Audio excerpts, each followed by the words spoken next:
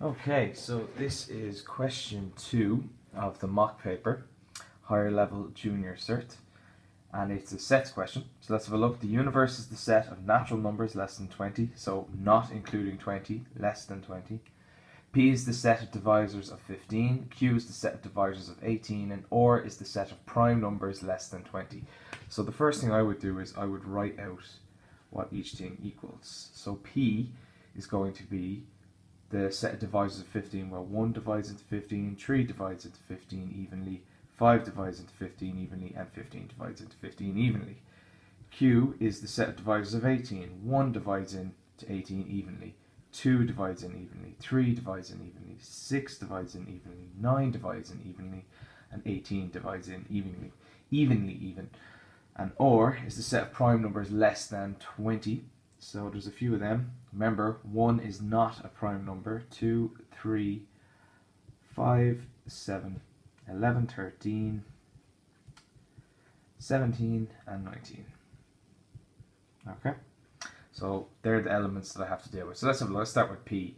Or let's have a look for things that are shared. Well, the 2 2 is shared in these two, but it's not shared in all three. Well, 3, 1, 2, 3. 3 is an element of all of them, isn't it? It's in P, Q, and R. Let's see what's in.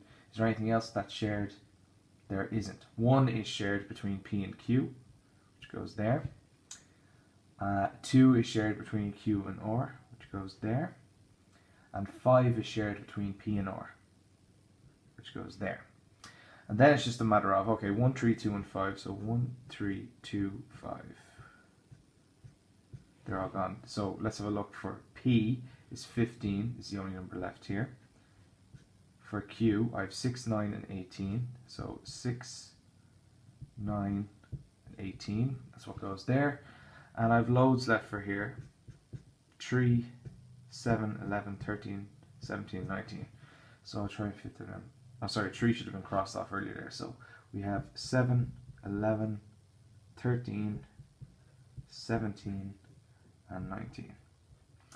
But let's not forget all the numbers that are less than 20 that's a part of, or sorry, the set of natural numbers less than 20. So we have to go through the numbers that don't fall into any of these. So that's going to be 4, 8, 10, 12, 14, and 16.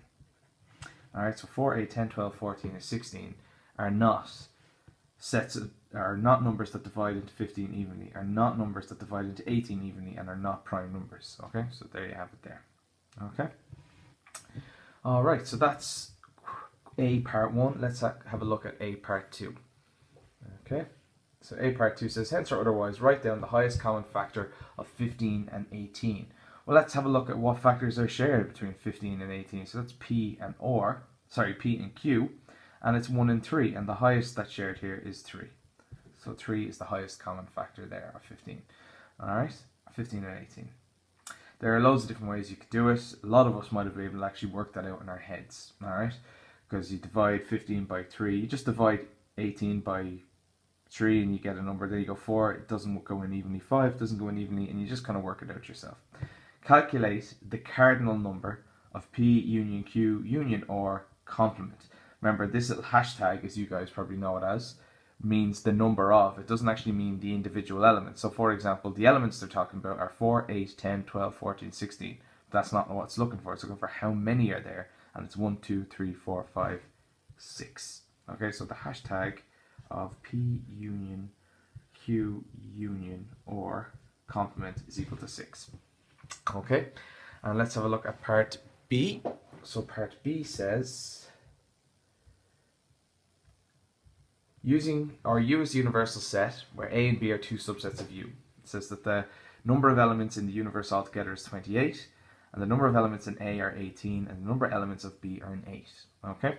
Find with the aid of the Venn diagram the minimum value of A union B complement. So what's the minimum value that can be outside the two circles? And the best way to look at it is to imagine if, right, okay, so A has to equal 18. So let's say all values there are 18, all right? And let's say that they don't share anything at all, which means that there are eight elements here, which means I have a total of um, 26. which means that there has to be 2 left outside. Okay, so minimum value is equal to 2. Okay? And if we look at the last part of this then, it says find with the ADI diagram the max value. Well, A has to equal 18 and B has to equal 8.